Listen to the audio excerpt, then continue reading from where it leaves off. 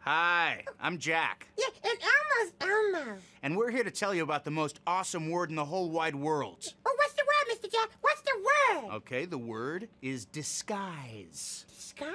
Disguise. Well, what's a disguise? Disguise is when you change the way something looks Yeah? to make it hard to tell what it is. Oh, a disguise. You know what, Elmo? What? I happen to be a master of disguise. No. Oh, yeah. In fact, I can totally disguise myself, and you would never, ever, ever even know it was me. no. Oh, yeah.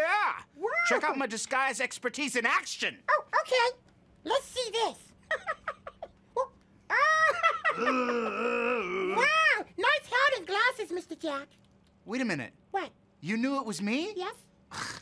Then you saw through my disguise. Elmo guess so. Okay, all right. I just have to dig a little deeper in my treasure trove of disguises. Excuse oh, me. okay. Elmo will excuse you.